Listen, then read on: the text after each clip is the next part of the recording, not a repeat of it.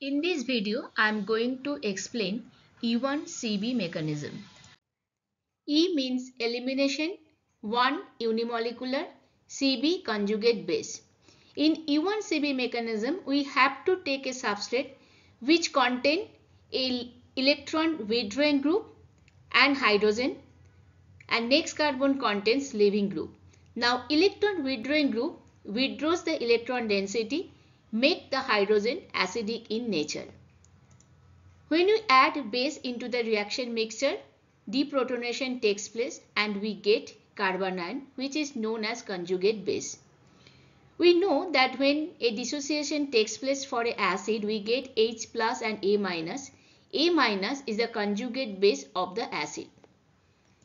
Next step is the rate determining step or the slowest step. Here leaving group leaves and negative charge over the carbon moves to the next carbon and forms alkene. This reaction is unimolecular reaction that means rate of the reaction depends on the concentration of the substrate not on the concentration of base. Here I am going to explain the energy diagram of E1CB mechanism.